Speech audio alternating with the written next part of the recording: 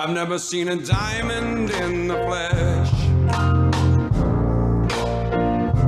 I cut my teeth on wedding rings. Dude, that's pretty Oh, cool. man, that is a, On this that sad clown. That's clown. proud of my address. Dude, that's pretty good. This is The Gloom, bringing you weekly interviews with F3 Omaha packs, exploring their F3 experiences and finding those sticky elements that create the glue in the gloom.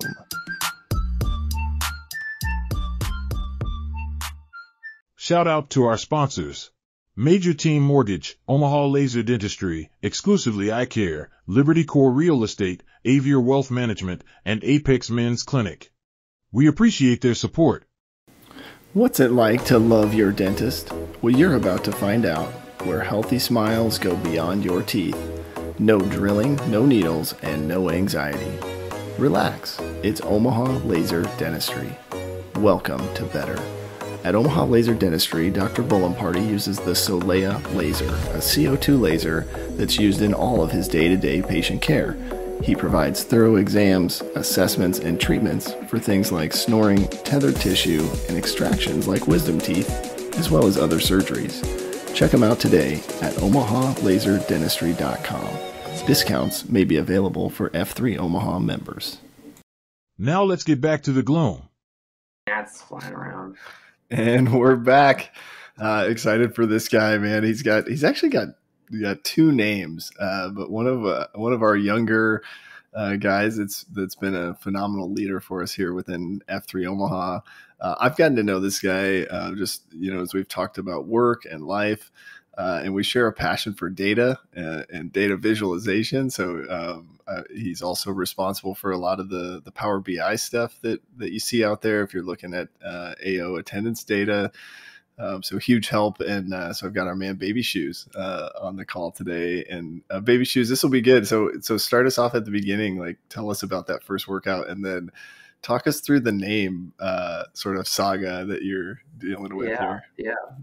Uh, one of the few people to be named twice. Yeah, thanks for the introduction. Um, so first workout, you want you want the very first one, or you want the second one where I got named named to set my second name? I can give you Uh, let's let's do the very first. Let's do both. I would love to Yeah. So the very the very first workout was at the Maze uh, back in 2020.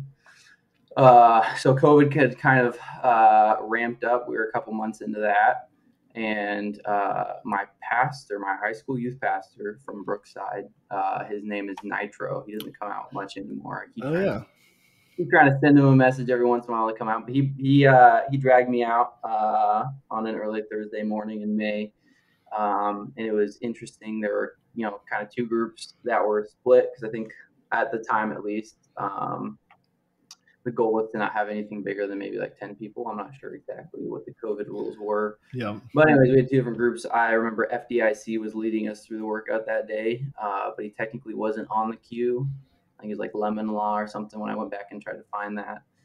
Um, but yeah, it was just like workout with a couple of guys I knew as, as my youth pastor, and he brought another someone else. So there was two two FNGs that day, and and I was just sitting there doing the workouts. I'm like, man, these guys are taking it like, why are they not running faster? I'm like, I don't want to do these monkey humpers. Like, I mean, immediately right out of the gate, like you like learn something about some of these exercises, and you're like, why would like the person not be sprinting their heart out so we don't have to do do this exercise any longer than we have to. Mhm. Um, but and the beatdown comes around. It was it was good. It was it was fun. Um, they ask you to tell tell you tell you tell a little bit about yourself, and I uh, you know was talking about just high school because I just graduated. I started college. Was in my first year of that. Um, and my high school youth pastor throws out that I got like a 36 on my ACT, and I'm like, well, it wasn't a 36, but 31. And then FDIC landed on ACT, and so Okay. that didn't know it, that was my very first name. Uh, so it was May of 2020, and I didn't come back for a year and a half later. Later, I was like 5:30 is too early.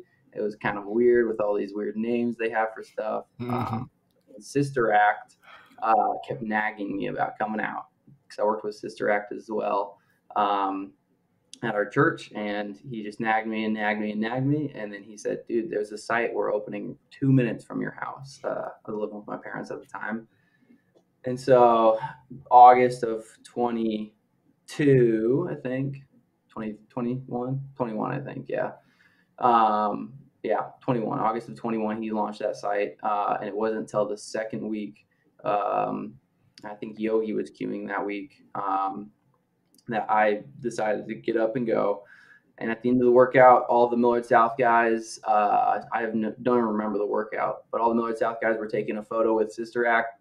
Uh, they got them a T-shirt and stuff. All the Millard South graduates, and I was asking them, you know, like Griswold was there, Yogi, Overtime, um, yeah, just a bunch of those guys that all graduated from Millard South. asked them when they graduated, and they were like, 01, 02, 2000, 1999. I'm like, dang, you guys are old. I graduated in 2019 here just a couple years ago. And Overtime looks at me and he goes, man, what's your nickname? ACT? Man, it should be Baby Shoes. I'm like, well, that's way cooler than ACT. Yeah. So at that point, I was like, we're sticking with that. And nobody said anything otherwise. I mean, nobody knew me. So, uh, and Sister Act did know, but he was like, well, we'll let it slide. Yeah. And it was, it was that ever since. Yeah. A couple people. I know Tater Tot was was a little bit on the fence when he found out after after me coming around for a couple months, but he was like, "Yeah, you're right. It is a cooler nickname." Yeah. Well, and in PaxNet, I think you have both, right? It's I do. I do. Sadly, uh, when we went to move to PaxNet, um, IMAC combined it. So uh, now everyone knows the secret. Yeah, that's awesome. I love it. I you, I always have wondered if that would work. Like if you just showed up and pretended like a new guy, like if it had if it's been a long time, right? And you just are like, mm-hmm. oh yeah, this is my first time. You know, I think we would probably give you a new name, like it, you know, yeah. especially if nobody knew you. But well, that's awesome. And what did you think? So remind me, because growing like you did. um you played sports. I, am assuming a lot here just because you're a, a, fit young guy. You could just have high metabolism though. Uh, but did you play sports and run track and all that sort of stuff, or tell us about your kind of fitness background? Oh, uh, I just love being active. I was always always outside as a kid, and then you know middle school you start doing some of the sports. I didn't do anything, um, you know, other than like you do soccer as with all the other five year olds when you're real young. But you know, middle school kind of came around like track the most out of anything, and it was the least contact. So my mom was okay with it because she's like, "Yeah, you probably won't get a concussion if you do track and field." So did that in cross country and and in middle school and high school, and and just love to to run and be active. Um, and so um, yeah, it was it was really really nice transition into into F three to kind of have a little bit of a background of, of already wanting to work hard and and and uh, and push on these workouts to get a good workout in. It's like, man, you have the opportunity to do that every day at F three. Like you yeah. can take it as easy as you want, or you can go kill the workout. Um, and so, yeah, definitely ran a lot of track. Still, still do run pretty often. I help coach, so I'm still running workouts more than I thought I would in in uh, late college and now out of college. Did you play? Did you run track in college?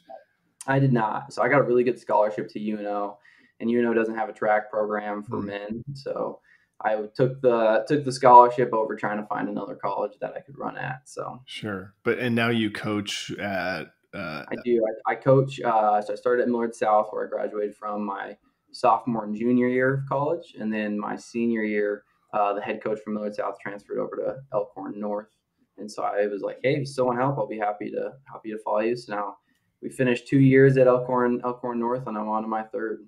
Nice, that's awesome. And is it cross country or or like? Yep. Yeah, okay. cross country and track. Yeah, that's awesome. So both long distance and the and short. Do you do like hurdles? I did. I did. I did do hurdles in high school. Uh, that's not what I coach though in, in track now. Uh, I help with usually the 800 to the mile. I mean, anything kind of just in a little bit of a longer distance. So nice. Have, do you know Stitches? You ever heard his story? Mm-mm. He got he got his name uh, trying to go over a, a hurdle. Uh, ended up getting stitches from it. There, so. there, there have been times when I've been on the Q schedule at like a high school that I know will have, or any school that will have hurdles. I'm like, oh, maybe we should try to like go over hurdles or incorporate hurdles into the beat down. Yeah, as long as you say the I, disclaimer. I try to, I try to avoid it. I know most guys would probably not be eager to jump over hurdles. Yeah, that would be intimidating. Well, I, I love it, and I think um, you know, certainly you've done a good job of maintaining your health and, and fitness level. What, you know, as you came into F3, where have you found your your groove? Like after that first post, I'm assuming that was the launch of Main Stage at Millard South, and then did you, like, I guess I would be curious, like, what made you you took a year off, but what made you decide, like, okay, I'm gonna be all in on this thing now? Because I mm, think Yeah. now you're posting, I don't know, three four days a week or something. Yeah, I, I try to go three times a week, depending on just how my schedule works out for the for the week. But yeah, three times a week. Early on, I remember I remember going and uh, and I I seriously only went for probably the first month, only to main stage, and I only went because it was fun to beat all the old guys. That's what I told myself. I was like, we're like, we're gonna go run stairs, and I'm like, okay, I'm gonna see how fast I can run stairs and see how much of a distance I can put between me and the next guy Mm-hmm. uh, and that was my goal every single time I went for seriously the first month. So for about four times. Uh, didn't go to coffee. I was like, I just want to go back to bed because I have to, to work here at nine and then class. And so I thought the extra hour would make a difference, but I mean, I don't think it did. So you would you would go to work out, then go home and go back to sleep? Yeah, I, I mean, Oh, sometimes man. I would sleep, sometimes I wouldn't. Yeah. Um, I've always been a morning person. I mean, getting up at like seven or so, you know, compared to my buddies in college who were getting up at like nine or 10. Yeah, yeah. Um, but I mean, yeah, it was probably after a month or so of going to only main stage and not going to coffee that you know Sister Act were finally like, like, come on, man, like come to coffee. And I went one time and and I was like, oh, it wasn't bad. Like you know, I just kind of sat around and listened to guys just tell stories and talk and talk about their lives and and really didn't engage, but. It was really once I started going to coffee that I was like, "Oh, this is really cool! Like these guys are pretty Hmm. cool." And and my motivation to show up and not just try to beat all the old guys every single week kind of went away. And I mean, still, still wanted to do that, you know, work hard in the workout and help me push, push me to work harder in the workouts, the beat downs. But yeah, I mean, coffee was, it wasn't a month, month and a half later that I started going to coffee and I started figuring like, oh, like this is what, this is what F3 is about. Yeah, that's really cool. And where did you find so like because we have all these different things, right? We got coupon sites and weight sites and we've got halfway house and Fury Road. I mean, where did you kind of where have you found your your groove? Like do you like to hit all the different sites or do you kind of stick to a, a few of the same? Oh man, I, I definitely avoid any coupon workouts. Okay. not a fan. Which maybe I, it means I should start going to more coupon workouts uh, if you hate it. But I yeah I avoid those like the plague. Nice. Um, see what you but yeah, no, yeah, never never been a fan of coupon workouts. I mean, I'll do it if I if I happen to show up to a beat down and I miss the pre blast saying as a coupon workout. You know, I'll, I'll I'll stay. You know, it's not like I won't get in my car and go home. But uh, I love I love just kind of the uh, beat down style of, of main stage where it's just uh, I forget what they call them, but just uh, Boot camp. Yeah. Boot camp, thank you. Yeah, boot camp style. Of course, I love running, so I try to get out to the labyrinth. It was a lot easier before I moved uh, when I got married to, to go out to like the labyrinth and stuff. And so now, uh, now I was well. Now that I passed this, the flyer, I can go to paradise. But Mhm. I mean, that was that was it was either twenty minutes to labyrinth or twenty minutes down to the sandlot on Thursdays, and so Yeah. Didn't get around as much uh, to running sites here in the last year. But yeah, I love to go to the running sites. Love to go to the beat downs. Um, really, just a driving factor was the the um, just the guys. I. I, I started in, in South the Southwest sector, um, Mission Forge. When that came around, I started going to that more often. Main stage, of course. Uh, Fridays. Um, I, I don't think I posted on Fridays actually too consistently when I got into it, but um, yeah, just west west O, southwest O is where I was at, and and especially main uh, main stage and Mission, Forge. I mean, I was there every week. And you get to know the guys that come every week, obviously. So I was, you know, see them on the schedule, you know, somewhere close. I'm like, well, got to go back, got to go support them. So Yeah, I I love that, and it's so cool. I, I'm curious from your perspective, and, and maybe it's just um, maybe there's nothing here, but but at your age, right? So you're coming to this group, and you're what 25, 26, or uh, I started I started when I was 19. really? uh, okay, Coming consistently, I started coming consistently when I was 19, and I'm I'm 22 now, soon to be 23. Okay. Yeah, yeah.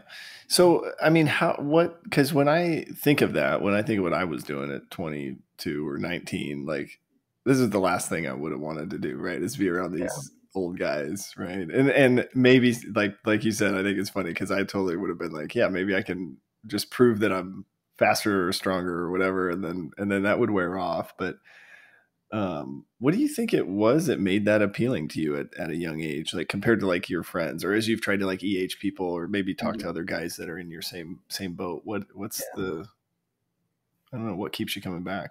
Yeah. Uh, I mean, definitely the guys. That's what they say. You come for the fitness, and you still stay around for the fellowship. I mean, every guy I feel like it reiterates that at some point. You, know, you hear that from so many guys in F three. Um, but man, yeah, early on it was it was the accountability, um, mm. and not and not like I was having guys text me, but just knowing like because there was there was kind of a point there when when I was in college uh, where if I wasn't at when if I wasn't coaching and, and running the workout with the kids, I wasn't going to go run on my own. Like if I could get somebody else to come or work out with me, come run with me, I was game. You know, every every single day of the week. Uh, if if that was, you know, I had my buddy walking over to my house and knocking on the door, and we were going to go running. I, I would do that. I mean, and there was a stint of that that I had where my neighbor was running every single day during COVID, and hmm. so I'm like, yeah, I'll come run with you. And so it was the accountability of that uh, in F3 where it didn't matter what site you go to, you're always going to have guys that are going to be there working out with you.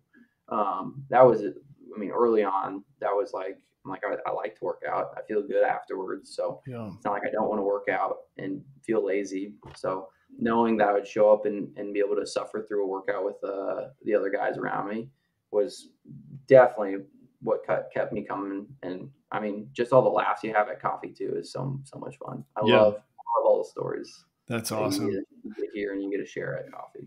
Yeah. Well, no, I I think that's really cool. I so I'm just going to ask this question because when I was 19, I was heavy into alcohol and drugs.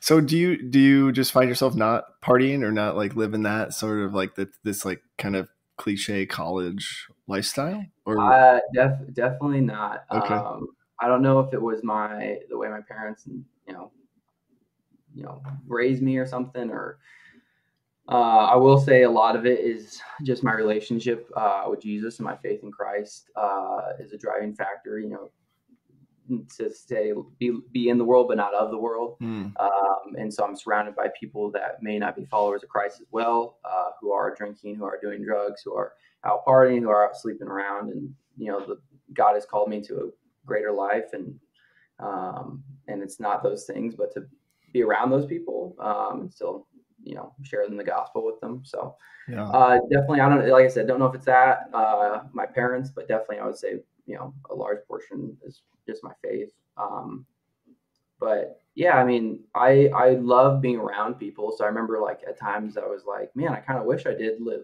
like on the dorms to go to some of the parties just to hang out with kids my age instead of living mm-hmm. at home with my parents. I mean, I saved a money a ton of money, so that was kind of nice. But yeah. Um, uh, I was I did at times find myself missing that. Um, but being on the other end of it now, I mean, I see guys on, from a fitness perspective, perspective, I see guys I went to high school with and just people in general who put on 20, 30 pounds because they were just drinking all throughout college. Yeah. Uh, and I'm like, dang, like, I'm like, how can you do that? Like, I love yeah. like just being in shape. It feels good. Like, I, I can't imagine like, I mean, yeah. And, and that's, that's just me personally. I mean, I enjoy, enjoy working out, like I've said before, but, uh, yeah, I just wasn't, wasn't drawn to that. And, and I mean, I will say I, I do enjoy spending time with people. Like I said, I like to uh, go out to the bars with with friends, um, but avoid you know I'll only ever, ever have like a, a beer or two. Yeah. And so be shocked if I get to that second one. I'm not completely out of it just because I never drink. So yeah. Uh, so. It's it's so cool and, and really commendable and just want want to affirm you that like you made the right choice, right? I think it like when I look back, I'm like, damn, why did why did I, you know, because I, I think what you know what I would tell you is it's completely empty, right? There's nothing there's nothing there, right? There's no like there's nothing you're missing out on. And I think it just sort of is this thing like our society is like, that's just what you do, right? You go to college, you spend a bunch of time partying. And unfortunately, like I think it's hard to get out of that. You develop some habits, right? You develop the habit of not taking care of yourself instead of you know, so just really, uh, ultimately, I'm jealous uh, that you decided to to not do that, but it really commendable, and um, I think it just speaks volumes to who you are as a man. So I just I love it.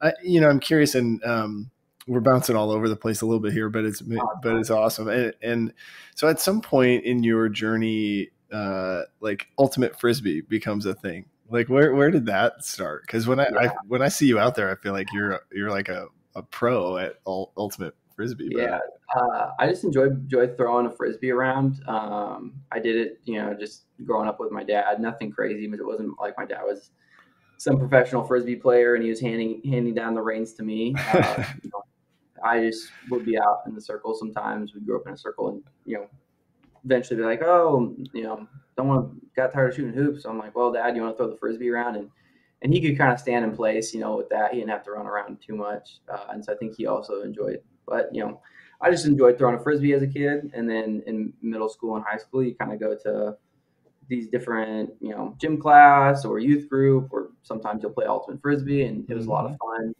Uh, and then when I went to college, I heard there was at UNO an ultimate frisbee club, uh, and, and we traveled. And so, unfortunately, my career for that, I'll say, in my college career, um, it uh, didn't pan out because of COVID. Mm. So, you know, it was super strict about clubs meeting or anything. So, it really killed the club for about a year and a half when I was at UNO. Um, but started to play um, a little bit more like structured instead of just kind of like, hey, we're going to casually play. And we don't really know the rules, but we kind of do from you know high school into early college. From when I joined the team, I was like, oh, this is a ton of fun, and and being fast helps you, and, yeah. then you can just always be open. So really, like just learn to love the sport um, really early on in college, like from a competitive standpoint, and then.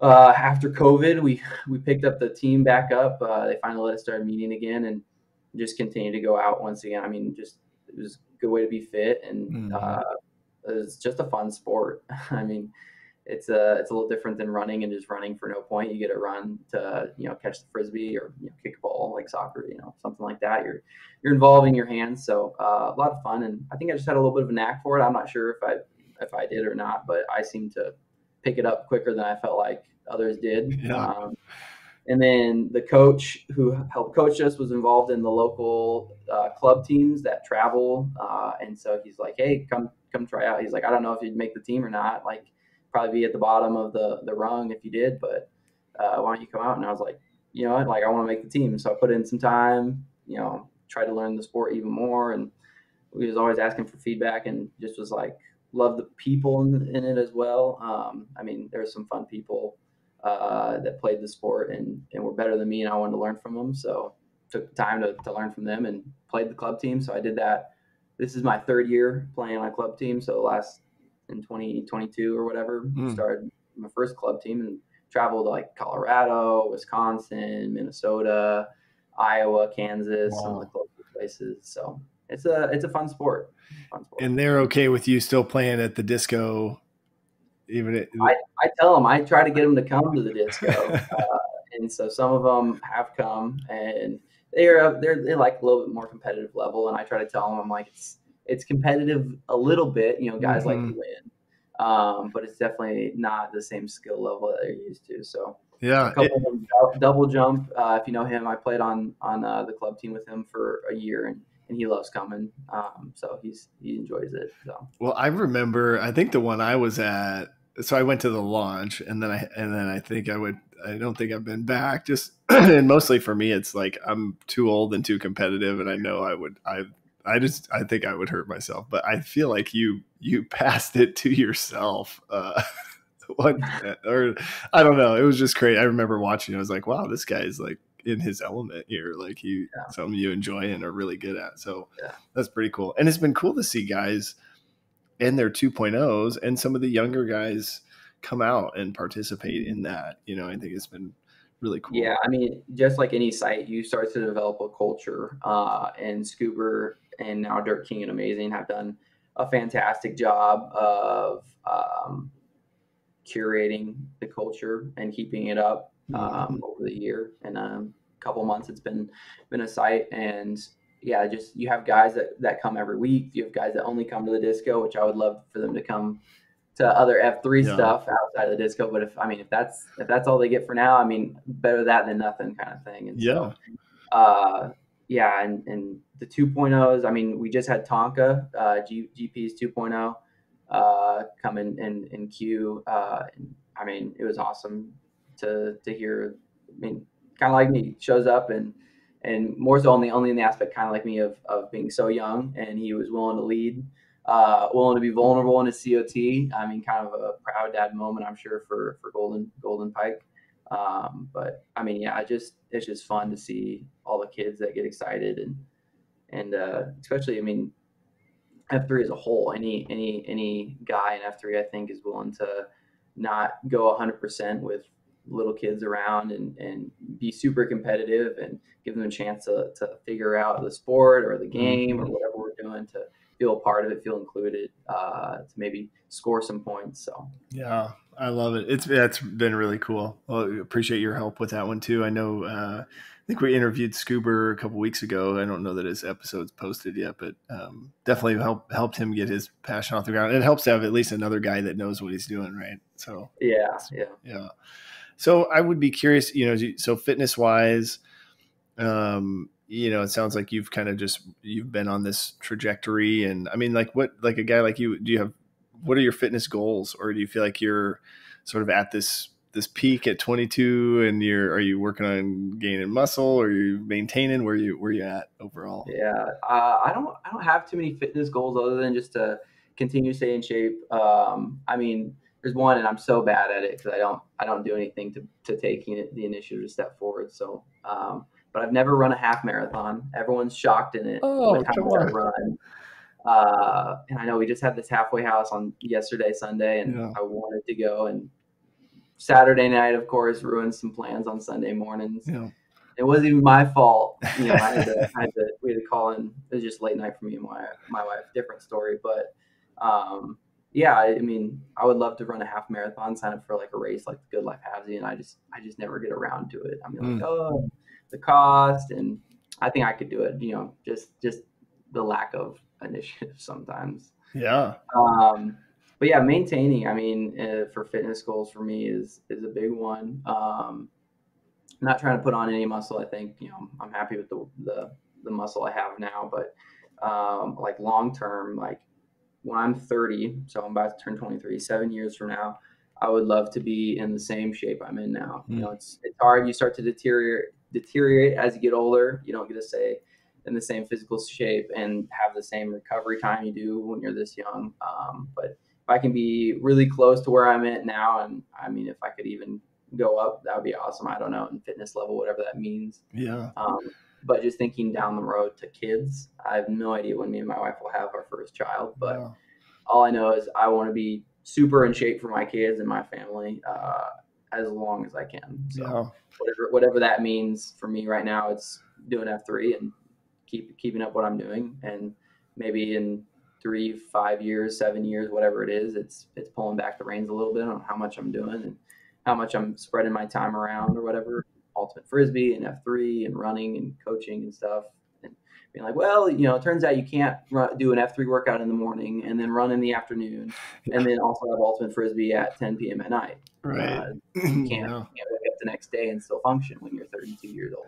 Do you do that now? That's your you do that some days now. Sometimes, sometimes yep. So okay. uh, there's times I'll get up uh, and go uh, do an F3 workout, and then I will say if I'm if I'm planning on doing something later that afternoon, so like coaching, I'm going to go run, and I know they do workouts on you know Tuesdays, Thursdays, or whatever. It's going to be a day where we have a workout. Uh, I'll I'll take it easier during the beat down, hmm. um, but then I'll run, and then yeah, sometimes we do uh, summer leagues, we do fall leagues, we have winter leagues. The fall and winter are indoors. Um, but yeah, those are in the evenings, the that morning, if I you know promise I'd go to an F three workout, or I just want to go because I enjoy the guys, yeah, I, I, pull back a little bit in the beat down, or I know later that night I'm like whatever. I mean, I'm just gonna go easier. I'll be a little bit more tired. So. Yeah.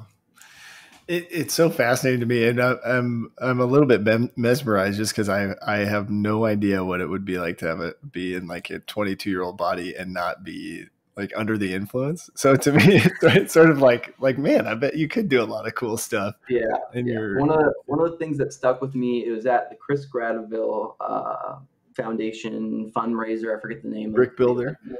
not the Brick Builder. It was the one where we're at the construction building. You know. Oh, the actual like fundraiser event. Yeah. Yeah, the auction that they had, the um, silent auction.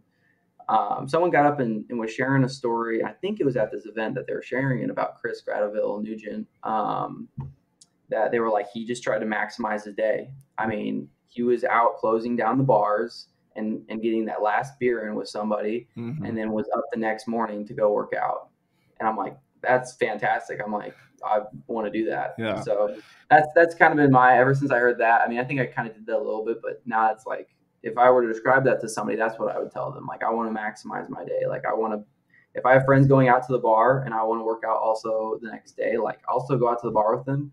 Uh, and I'm just not going to drink. You know, I'll, I'll, I'll, have no drinks or just one drink, and then I'm going to mm-hmm. set my alarm, and I'm going to be up to be there because I want to enjoy the full day. Yeah. You know, I don't want to miss a moment, kind of thing. And so that's awesome. No, that's good. I, I like that.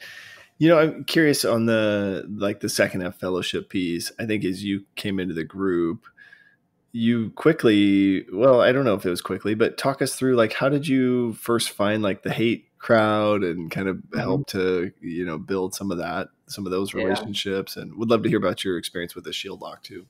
Yeah. Oh man, it's been it's been rough. I'll say that. Like I won't say it's it kind of like clicked. Like I found the hate guys and our shield lock has been amazing and the fellowship is good. Um, and so yeah, early on, I didn't know what hate was until we were going through uh, some book. What's it called? Free to lead, maybe. Free to lead. Book? Yep. Maybe I don't know. And it kind of just lays out sad clown and all the different things. And and I remember khakis. It was in his garage uh, in February. We were going through the book on Mondays. Anyways, he talks about hate versus respect and what that means. I'm like, oh, that's cool. And didn't think much to it. Uh, and then you know people kind of mention it. they're like, oh, there's some other guys your age and and here and you know Patchy Adams was one of them. He posted up up in Elkhorn and it was a little bit of a drive for me, so I just didn't you know never met him before. Um, Urkel came around. He had, I think, two years. He was 28, 29. Now he's out of hate. Mm-hmm. Uh, Taxman as well. They were both guys who actually were going to the same sites as me. So kind of met them who were, you know, closer to closer to my my age mm-hmm. uh, um, that I was in you know just communication with no shield lock or anything. And it wasn't until really I think uh, Gator mentioned me. He's like, you know, you got you guys should try to do a shield lock. And I, I kind of knew about him. I always was like, man, I don't. I have a small group I go to with church. I don't need another group to try to attend yeah. things with and do do things with and and uh, and yeah, Gator was just like sometimes you just gotta do things like for other people. Mm. I'm like, all right.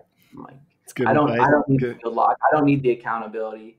Uh, and you know, it's not like I'm not, you know, filling my cup up, you know, outside with another small group like I was. But you know, sometimes you got to do something for somebody else. And like, all right, you're right. So kind of took some some initiative off of that and texted Taxman, Urkel, and Patchy. I'm like, guys, we got to do a little shield lock. I don't know how everyone else's shield lock went, but it was usually someone's like, let's try to get breakfast this week. And then no one responded. And then like, well, actually, I'm busy. What about next week? I mean, it was, and sometimes we wouldn't text for like a month. We'd see each other at beat downs, but just never organized or something. Or when we saw each other, we tried to, like, maybe we should try to do breakfast next week. And nothing ever came out of it just because, you know, I don't know. We're young and, and not, not uh, proactive on that stuff. But that was kind of the first initial hate thing that I kind of took uh, you know, jumped into uh, and meeting those and being and, and meeting with those guys uh, outside of F3. Uh, just learning more about Urkel's life, learning more about Taxman, learning more about Patchy, just who they are as guys outside of F3. Mm. Um, and they all have awesome stories. Uh, you know, each one has whatever, you know, from when they're young, from when they're, you know, something a month ago. They just got fun stories. Mm. and then you know, Patchy was always like, we just got to get more guys. Like, let's just make a giant group chat with every guy in, in F3 that's hate and and try to try to reach out and do pop-ups and stuff like the respect uh, pop-ups that they do. Yeah, we've done a couple. Yeah, we haven't been very good about it, but uh, that's when I kind of then reached out and met E85, his brother Blue Bunny. We have IMAC down in Sarpy uh, Sundance and Sarpy as well. I mean, there's there's a bunch of have hate guys that I wish I would reach out to more. Mm. Um, only in the aspect of just trying to get trying to get them. I mean, I could care less if we go out and get breakfast once a month. We do hate pop ups once a month, like respect, but at least just trying to meet up at beat downs. Um, I think we should be way better at. I know Blue Bunny and, and E85 are, are tight. Yeah. Uh, I mean, you know, they're brothers, so they they got some history, but Yeah. just trying to just trying, like I said, meeting guys at, at different beat downs, I think is that's something we're already committed to. You know, some Yeah. of these guys got families. IMAC, uh, Sundance just had a kid. Urkel's about to have his third. He's out of hate, but we kind of just give him the the honorary hate badge. Um, but yeah, just I mean, just trying to meet meet those guys where they're at. Um, at least just create connections. I mean, not that they don't. You know, they're all they're all creating connections with the guys where they're posting most, but it's fun just to know guys that are your age posting. So yeah. it's been been tough, but we try to we try to do something What's- once in a while. Uh, would be curious like what's been have you found it challenging to build relationships with some of the older guys i mean I, it, to me i think it, it's like well you know i guess because you got married halfway through F three two, right so at Yeah. the beginning it would have been like well these old guys are talking about their wives and their kids and i'm not really in that phase, Yeah, but- it was it was definitely interesting. Um, it was it was kind of fun. Uh, early on in F three, anytime I went to coffee, I would just sit there. I just I would just listen. I Mm-hmm. didn't I didn't try to try to bring something up. And if somebody asked me something, you know, I I talk, but it, I would just listen really, and you know, maybe make a comment here or there if the story, you know, someone's sharing a story or something.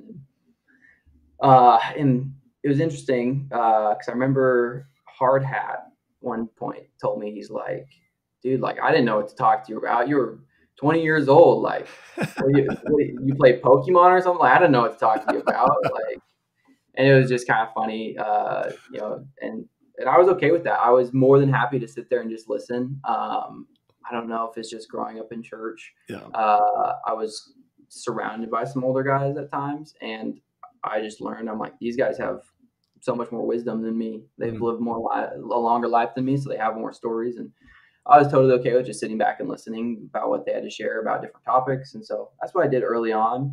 Uh, and then eventually, uh, at some point, someone mentioned something that I can want to hop in and, and comment on or share my story. And, and that's, you know, you know, eventually I think what grew and made it not easier, but, uh, you know, kind of ignited a, a relationship between me and another guy in F3. Um, you know, just more than happy to just listen at times. And I think that's, for me at least, it helped me. You know, I just listened to what guys wanted to talk about and, and, and jumped in when I could or asked a question when I could, or otherwise I just, you know, I was, like I said, more than happy just to hear, hear other guys' stories about Yeah. what they're going through, what they had been through.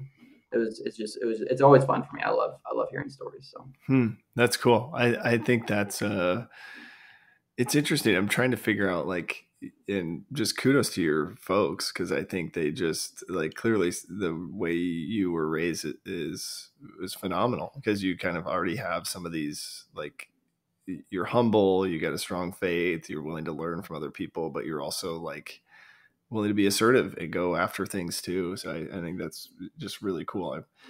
Uh, if this next baby of ours is a is a boy, I'm gonna reach out to your dad and say, "How did you how did you raise this kid?" Because um, Yeah. yeah, it's cool hearing your story. I curious because the other thing you did, I remember you reached out to I think you reached out to me one time, right? We talked about like you were talking about, hey, I'm in school, I'm doing this sort of thing. So I feel like you took initiative to kind of develop some I don't know if you'd even call it mentoring relationships, but just to like sort of leverage that, right? To say, hey, I you know so curious like as you moved into then like getting married and and that sort of phase of life um, was it helpful to have a group of sort of old guys around to kind of run Yeah. things by Yeah, yeah, totally. Oh man, yeah, it, it's fun. Um, just hearing, getting married, and hearing stories from guys. Uh, you know, like, oh man, like my wife was upset last night, and they're like, "Yep, join join the party, like do it." Uh, and and just guys willing to come around and support you. Um, I mean, yeah, it's just to take initiative. I think too. Um, there's so many guys in F3 that are willing to help uh, a fellow PAX member, a fellow guy, uh, a fellow man just in Mhm. life, what they're going through. So many guys are willing to, to help. Uh, I think about the windstorm that just happened recently. uh, hearing about kickstand and the guys that came over and helped him get the tree cut up. Mm-hmm. He was like, "Oh yeah, 30 minutes."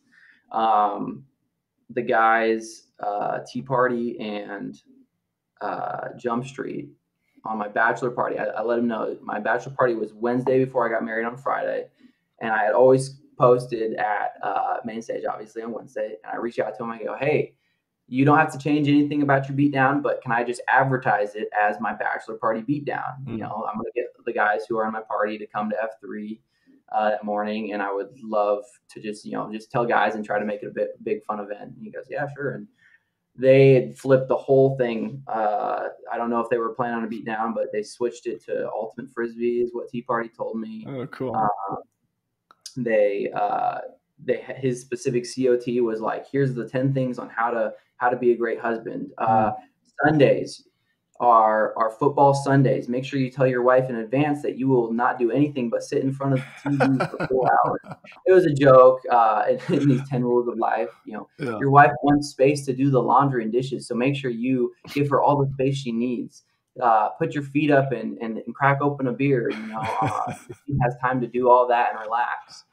Uh, and stuff like that. It was it was a fun joke. You know, gave me he gave me some serious advice, but just these guys are, are willing to uh, and reach out. If you reach out to them, are, are willing to to talk and take time with you.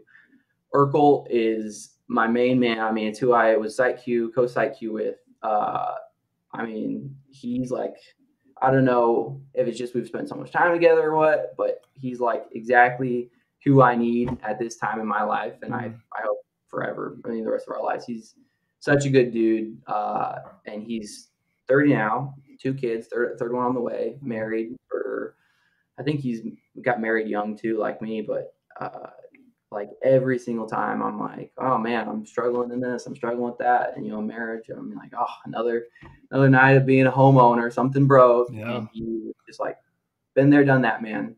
And he was willing to listen, give wisdom. I mean, these, these guys in, in any aspect of, you know, career advice, life advice, marriage advice, advice for your kids, somebody's out there willing to share it and willing to come alongside you in F3. I mean, it it's just that's why I'm just so eager to like reach out and, and know as many guys as I can as, yeah. as somebody guys are willing to help. Well, it's it's cool just that you have the courage to do that, you know, and yeah, I think being able being recognizing that at your age and be and then just having the courage to ask, you know, I think there's guys you know they're older right that probably are like oh i should ask this guy about this thing and they never do right? They're sort of afraid or for whatever reason we think like oh i should probably know that by now you know? And so so then you google it instead of just asking a guy that you know somebody I, I, I always think you know you could read read a bunch of books but like learning from somebody else's firsthand experience it, there's nothing like it. So that's, yeah. that's really cool. I mean agree. I know nothing about home owning. I know I, I'm renting a house right now, but kind of doing some of the house projects, plumbing, electrical, you know, a light fixture that you think might be a little simpler for some guy. I don't know the first thing about it. I won't say the first thing, but I know a little bit. I still called up my buddy who's an electrician. I'm like, hey man, like this thing seems a little odd. Like, can you come like just I'm like, you don't have to do anything. I will do it all. Just yeah. sit here and just watch me so I don't electrocute myself. yeah. And I mean, that's, I'm all for it. I'm all for uh, just being, being vulnerable about what you don't know. Heck yeah. I do not know it. Sorry. Please, please help. I need help. Yeah, I love it. That's awesome. Liberty Core Real Estate is your homegrown real estate broker. If you're looking to buy or sell real estate, whether personal or investment, Armando, aka Brian, and Megan Michaels Company is ready to serve you. With Command Center in Old Town Elkhorn and agents all throughout the metro, they are more than ready to guide and serve you in your next real estate endeavor.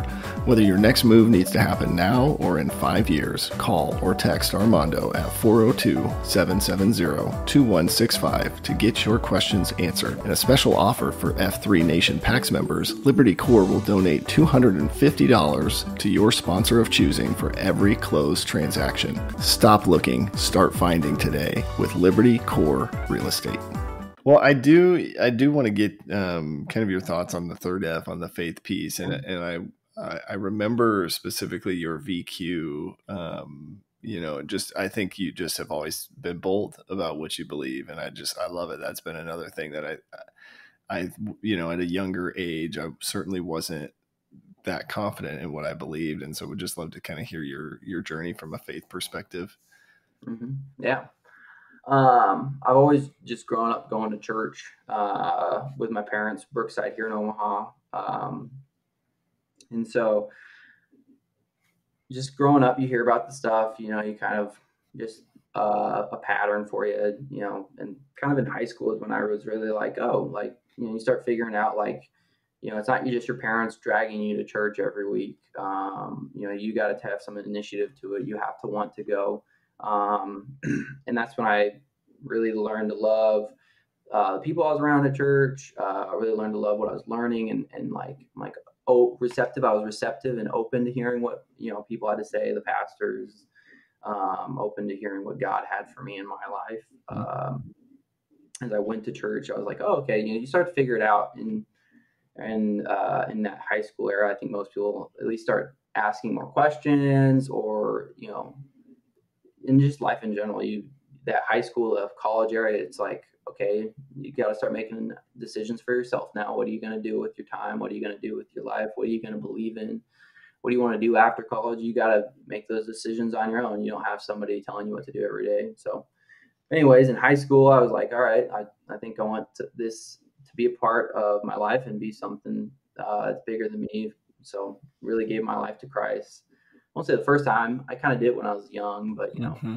so when you make it your own, it's a little bit different. And so, just held on to that, continued to go to church and, and try to find uh, opportunities or groups of people pouring into me. I did some men's groups at Brookside that was, um, you know, about Jesus's life and how to be, uh, you know, really similar to F3 in the aspect of of being authentic men. Um, it's called 33. You know, they had like an acronym of being authentic, and I can't remember, uh, but and I think you were in it, plague, but no, I don't know if I was there. But I got the, I got.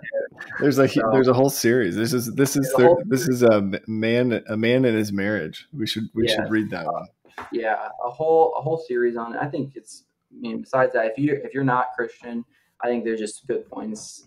Uh, obviously, they do relate it back to the Bible, but I think there's just good points on how to be a great husband, how to be a great man, how to be a great father in your life um, that they you know iterate through that book. So I'd encourage a lot of guys. But did that in you know in college and, and just was like you know it did help that I worked at a church. Uh, you know you're kind of required to go to church every Sunday. Um, were you so, were you in the band there or were you? Would you? No, no, definitely not the band. Can cannot sing, cannot play an. More of a parking guy, parking attendant. I was, I was, uh, I worked um, in the production, did like the lights, the tech, oh, audio, um, but yeah, you know, I think it kind of saved me from some late nights on Saturday too. You know, like oh, I got to be at church at five thirty in the morning to set everything up. You yeah. Know? You know, besides the point, but yeah, that faith has always just been something I've I've kind of fallen back on in, in tough times. Um, surrounded myself with people that can encourage me in that way too. Um, you know, I think you should find people that have the same beliefs as you. So when you do go and ask them for advice, um, you know, they're gonna maybe not they'll hopefully they'll not tell you what you want to hear and mm-hmm. they'll tell you what you need to hear. Um, but it's not completely wrong advice you know uh, you know how do i get in shape? Well you probably should sit on your couch and stuff your face with donuts. Yeah. like well that's wrong. I know that's not right. I need to do something besides that.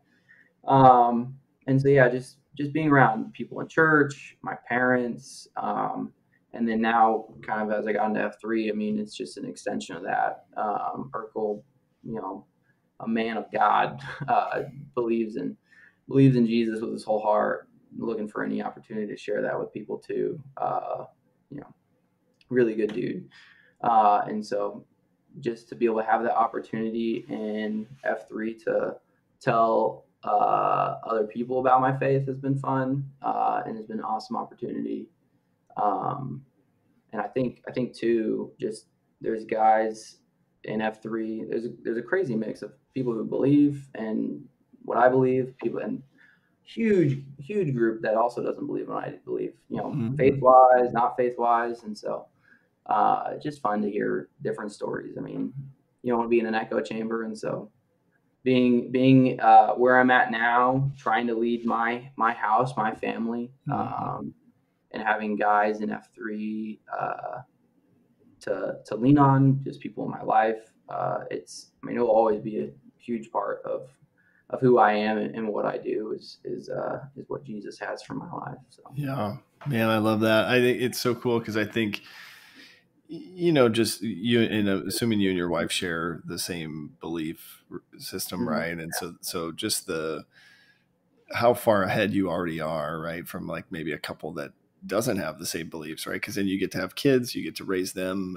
in a certain way, and I think just, um, you know, again, I'll, I'll go back to all the time that that most people are wasting in in their sort of college and early 20s that is just a it's just this carryover of like adolescence that guys for whatever reason i feel like just struggle to move on right? Like like you know but you've Yeah. you've done that so well and so just really really impressive man. Just really appreciate thank you. you and who you are. You know I'm, I'm curious as you think about like you so you're 22 right? So you're young have you have you gone through, do you feel like you've experienced some things in in life that have sort of made you more confident or given you sort of this like yeah this is how i know that this is like this is the thing right like because that's where my where my mind is like okay well baby shoes Why do I believe? yeah, well, like Baby Shoes is doing great. He's got a great faith, and I share. I believe the same thing you do, but I believe that because like God has proven Himself to me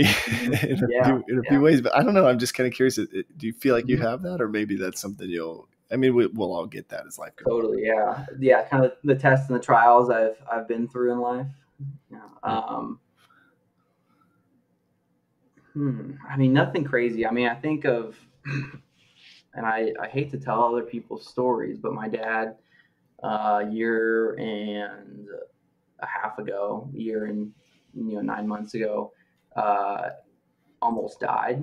Um, he was having some pain in the middle of the night in his chest, uh, and he thought it was just maybe some heartburn. After like an hour of moaning and groaning and shouting in the house, he's like, "All right, Kale, like we're going to the hospital." So Hmm. you know, sped down, got him over to Methodist, and um, and just the the times that I see.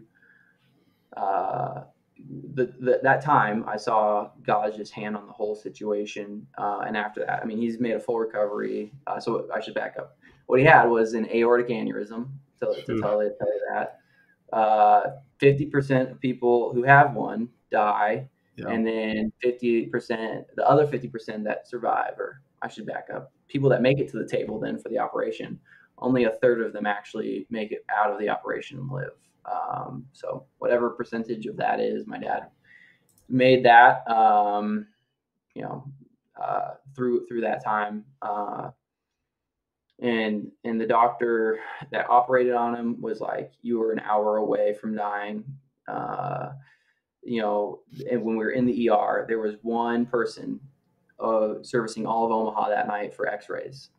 You know, so they got their X-ray, but the X-ray tech that was, or the uh, the doctor that actually looks at the X-ray, one person that night Wow. assigned, and the the ER doctor had the knowledge to say, or not the knowledge, but the um, I don't know, just just took the initiative to kind of glance at it, and she's like, "Hey, you need to move this up in the queue," and told that doctor, and they go, "Yep, surgery now." Like his heart's, you know, his chest is filled with blood or whatever.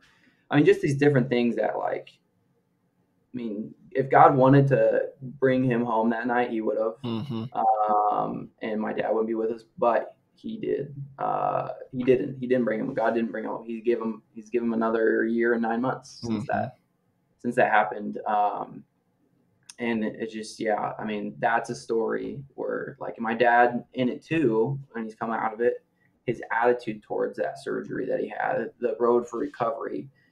He's not had like just this negative attitude. He's just been so open and honest. Like, I mean, he's probably struggled that he hasn't shared everything with me, but and the more in the aspect of what he has shared is just like, God, like, how are you going to use this? Like, not why me, but just why in general. Like, Mhm. what, what, what do you want me to learn out of this? What is coming out of this? Like, you know, you know, you had me here for a reason. You had me suffer through that for a reason. That one, I mean, real recently, just stuff like that. Um, you see God's hand in. I mean, I was I had to take him there that night. I mean, it was just crazy, crazy night. Yeah. Um, you know, and he's just made a full recovery now. I mean, just crazy that no, he's just blessed. I mean, God had his hand on the whole thing, like I said. Love it. I mean, there's stories like that. Um, you know, uh, just yeah, just I can't. I mean, nothing crazy for me. I can't think. Yeah. Of, I mean, other than like immediate family. Um, I mean, I think of just like just having a rock solid foundation. I mean, like to your point, I I didn't go live the typical college life to share the stories and, and look back and and never grow out of it. I mean, I have people that I know that are 30 ish age that are just can't like, oh, like, okay, back in college, like this happened. And, and when I was in my 20s, this happened. And like, they just want to tell all those stories and they're just trying to relive that because they felt like it was a feeling that fulfilled them at the time. And, Yeah. and now they're like, well, let's go party every weekend and let's get drunk and share, keep sharing these stories and living in the past. And, I mean, I just didn't have that. I, I mean, I, I like besides the one with, with my dad's, and there's a couple other ones that I won't share, but with immediate family and um, I mean, I'll share them per- personally if somebody wants to come ask me. Um, but yeah, I mean, just just seeing where God has had His hand on other people's lives that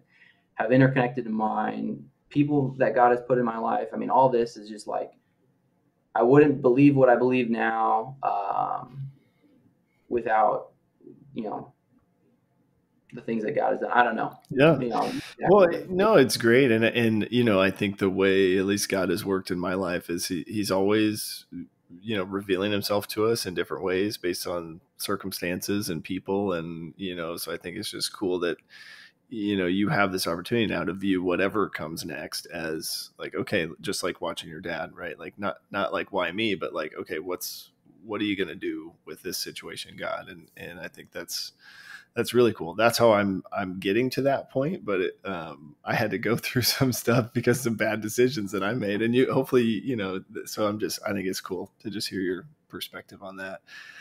Um, I appreciate you just sharing too. I think it you know to be um, just courageous and bold and sharing your faith is uh, super special. That's how we all learn. So I, I love that you're willing to do that the other question, kind of the area that we like to get your thoughts on is leadership, and and would just love to hear about uh, your time as a site Q, and um, Yeah. would also love you know just talk us through kind of the succession planning and how all of that uh, worked out as well.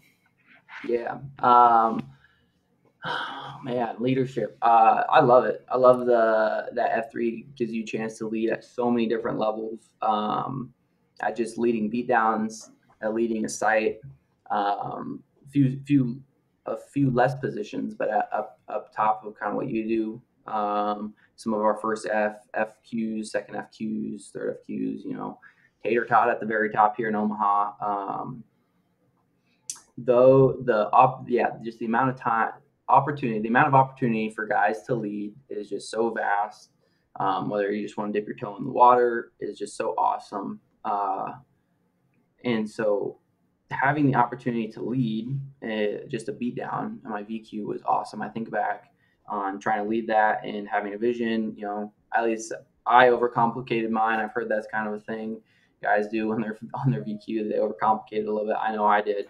Um, but just to one yell at a bunch of guys and have them all listen to you is kind of fun, um, and not in a bad way, but just you know, hey, we're doing this now, we're doing that, we're doing this, Yeah. um, and and guys are willing to listen and and help you when you fall to, or you know, give you correction when you need it, um, so positively that I just think of like other things in my life, uh, you know, leading at work. Um, even though I'm not in a manager position, you have to lead through meetings. You have to, uh, you know, lead lead sometimes uh, just the people around you, um, your your boss. You know, hey, I think we should probably take this direction and try to lead whatever projects. Mhm. Um, I, I coach, trying to lead lead that team. I mean, I'm not the head coach, but there's times where my coach says, hey, can you can you take uh take this workout or take this group and lead them through this this workout? You know, we're all doing the same workout, but I just need you to manage these you know four because they have a little bit different workout, whatever it is. Mhm. Um, you know, they don't just have that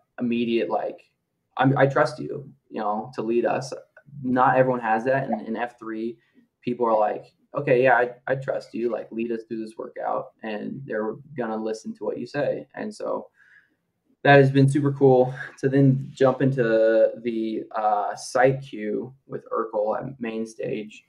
Uh, Rowdy and Bayside asked us super early on. Um, it was like in November. They took it. They took it in August, and they asked us in November, like, "Hey, do you you guys want to be like?" Like, "Sure." And so took it. Um, and then we we took that following August or that next year in August. You know, had it for the year, just passed it here recently. Um, and and in that leading, um, it's it's definitely different. Um, we're to have the opportunity to uh, rally guys and create a culture uh, at your site. Um, I love how every guy can kind of take his spin, or if it's a couple guys that are leading a site, take their spin on how they want to try to lead a site. Um, it's super fun because uh, I know Sister Act uh, when he started the site, uh, he was just all about um, led in a rotating fashion. Mm-hmm. Every guy has his chance to lead, uh, come up on the stage, and you know, lead lead the group, have his time to shine uh, in the spotlight, and that was was his kind of year goal for uh, the main stage. Um, Rowdy and Bayside just wanted to uh, create a culture that kind of cultivated just guys showing up every week uh, and like picking up the six uh, fellowship. Not that Sister Act didn't want that, but mm-hmm. uh, it's a little bit different. I mean, they were looking for guys that would bring bring 20 to 30 to kind of create something a little bit more casual. You know, if we can always have maybe some guys that are going to bring, you know, VQs, uh, you know, guys who are just maybe going to do a fun beatdown like soccer or something, getting the lights on up at main stage every week. So mm, it can maybe bring like, you know, 15 to 25 guys every week um, where it's almost that middle ground where you can get lost in the crowd uh, mm-hmm. if you're new. And but I think some guys needed that. I think of some of the new guys that came in and they weren't lost because uh, Rowdy and Bayside made an effort to pick up the six to uh, be there for the new guys, the fngs uh, every week. But they were uh, just had a different you know way they want to do it. And so me and Urkel took it over. Uh, our goal was just to get guys who were there every week. Um, we didn't find as many VQs. I mean, you know, it seemed, and that's okay. I mean, we got some guys who who were coming every week to the site, and those were the guys we wanted to to lead the site um, and and and lead the beat downs. I should say, not lead the site, but lead the beat downs week to week. Were the guys who were coming every week. Um, you know, I think home runs VQ, he was coming every week uh, to main stage, and so we're like, dude, like this is this is a site you're attending a bunch, and we want to you know have you the opportunity, give you the opportunity to lead lead that, and so just the leadership aspect is is is so much fun. I mean, I don't know. I've I've just grown so much, so I can't awesome. I can't speak poorly on it. I don't know any guy that could uh, in F three, but it's just been it's been a blast to to lead and uh, and yeah, give the opportunity to other guys to lead too week to week. So heck yeah, and you're gonna stay on as our like West Sector data and tech yeah. guy, right? Yeah, yeah, whatever. Yeah, whatever that means. I mean, we know, I know we're working out the details on that, but yeah, definitely involved. I mean, the contract, and the contract, and the the salary uh, proposals in in the mail. Yeah, exactly. Yeah, um, yeah. Just to uh, think about how some guys, and there's nothing wrong with it, but they get done with a week, uh, a year of being a site Q or however long it was, and they want to kind of step back and and uh, take a break, and which is totally okay. I mean, it's mm-hmm. it's a lot to be there every week, um, and uh, I, yeah, I just couldn't I couldn't find myself uh, able to do that. I'm like, okay, like what's next? Like, where what yeah. can I lead next? What, what can I do now? Like, how can I still be involved? Because I'm not. I don't want these. I don't even want to have the chance. If I'm committed, I mean, that was the great part about being a site Q is if I'm committed every week to be there, mm-hmm. uh, I mean, I have to be there. I have to. I have to do the work down. So when I'm staying in shape for the fitness, I get to hang out with Earl and all the other guys there, build the fellowship. You know, uh, hang out with guys, uh, and then just you know be pushed sometimes spiritually, sometimes not. You know, but the fellowship was there. Uh, and so yeah, like now that I'm not a site Q, I have no, I have no responsibility to show up to a down at any time. I can well, do whatever I want. Yeah, we well let's get and you. And that's okay. I mean, there's another flag here one of these days. Yeah, who need that, who don't, who don't need to be committed every week, and, and they need a little bit more flexible schedules because work, life, whatever it is. Um, but yeah, I'm like, if I'm if I'm accountable for something, you know, it's not like I can just walk away from this. So yeah, uh, that's where I'm like, give me more, give me more. That's the intent. To pull off. For sure, we'll we'll find more more work for you to do. Well, I, I do just want to thank you for your role as a site Q, also uh, with the data stuff. I mean, I think it's super important, and we use that right when we're trying to do expansion or starfish, and mm-hmm. it never fails, right? Somebody's like, "Well, we need a new site here," and it's like, "Well, the the numbers don't really suggest that," and that I mean, I, you just, in my opinion, you have better conversations when you have some data to sort of guide reality, right? I mean, I think you totally. can you can go to a site at the Shovel Pass and you have 50 60 guys there that feels like it needs starfishing but if you look at the the trend it just you know it doesn't always match up so it, that's been super mm-hmm. helpful um i do want to get you know just kind of as you think about life where you're at um kind of one of the questions we we like to to wrap up with is just where do you need prayers and encouragement today like if we see out there or if if we're thinking about you, we text you, we want to check in on something. What's on that list for you that, that would be helpful? Mm-hmm yeah. Uh, hmm. Oh man, probably just my family. Me and my wife is is the family right now.